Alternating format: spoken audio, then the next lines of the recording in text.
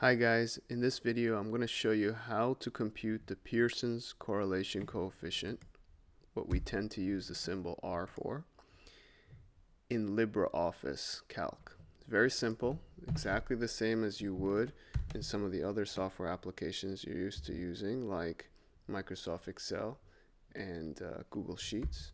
The function is correl, short for correlation and what you need to feed it are two arguments the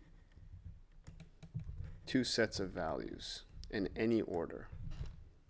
Okay? Enter and we get the Pearson's correlation coefficient. It happens to be positive right?